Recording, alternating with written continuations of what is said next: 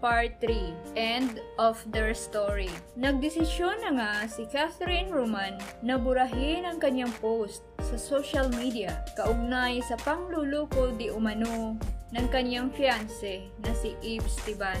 Narito ang mga kabuuan ng kanyang pahayag. Hindi talaga aamin yan. Galing-galing, magsinungaling, at lumusot. Black siguro color ng heart, mind, soul, and buong lamang loob niyang babae na yan. And yes, hindi ka mo lahat ng babae kasing landi niya para maging touchy sa tinatawag niyang girl lang. The reason that I wanna call you agad nung nakita ko sila is because disturbing yung actions nila for me.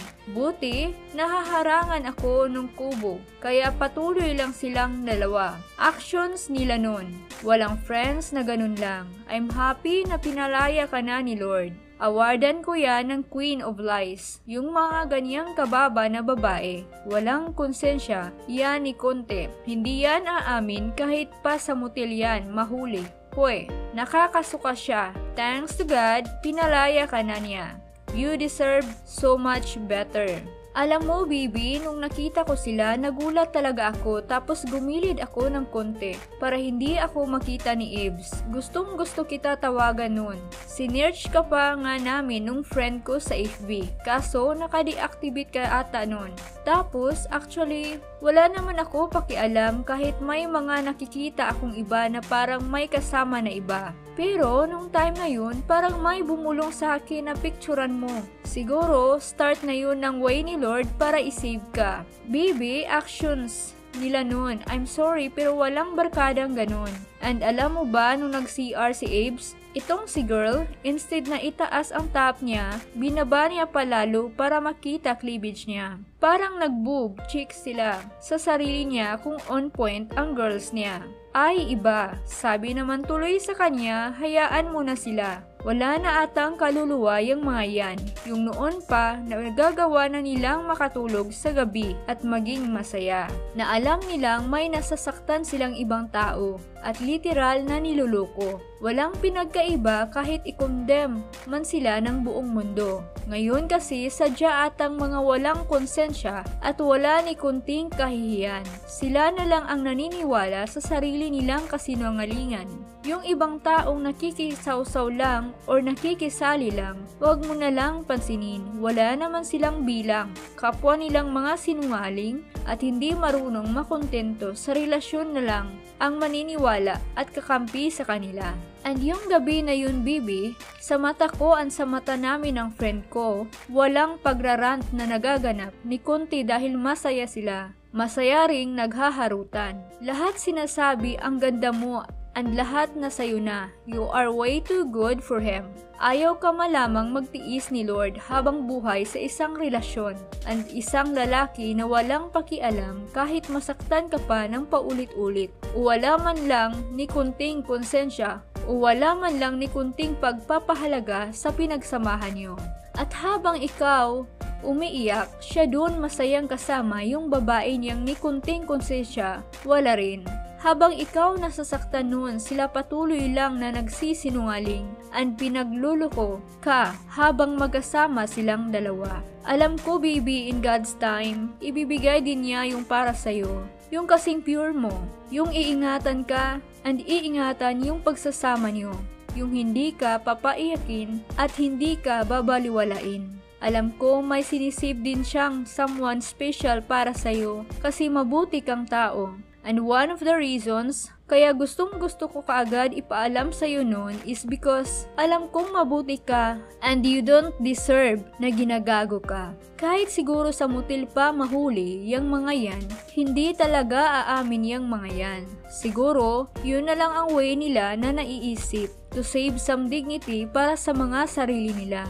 Ni konting sorry or konting konsensya, wala talagang makukuha sa dalawa na yan. Kaya ka nga nila nagawang lukuhin dahil pang sariling kaligayahan lang nila ang alam nila isipin. Regardless, kahit may masaktan pa silang ibang tao, Pagpapatuloy lang ng mga yan lahat ng alibay at kasinungalingan nila. Nasasaktan ako para sa'yo pero at the same time masaya ako para sa'yo. Kasi finally, makakaahon ka na dyan. Kasi finally, kahit ano pang sabihin nilang kasinungalingan or alibay ngayon, hinding hindi ka na nila ulit maluluko.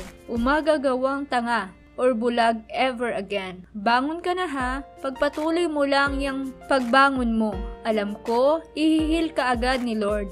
I really pray for the fast healing. Maturity comes when you become naive of the pain they've caused you. But surely, it will take time. Enjoy life with the people you should truly value most na baka hindi mo na napansin nung focus pa tayo to invest so much on wrong people.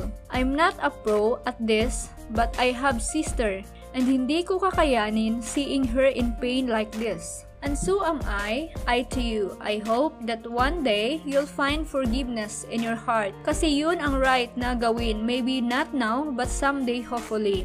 This situation, and as you break your silence, will taste you farther. It will even turn the story outside down. Na mamaya ikaw pa lalabas na masama. But just be calm, hold your truth, and learn to choose your battle. You know yourself more than anyone else. You don't have to explain, you don't have to fire back. God sees and God knows. Opening this story in the public could bring you a little comfort. Now, and somewhat a feels na they've gotten the dose of their own medicine. But sometimes, God has His ways. You are never martyr. Mabait ka lang talaga kasi yun ang upbringing sa'yo ng magulang mo.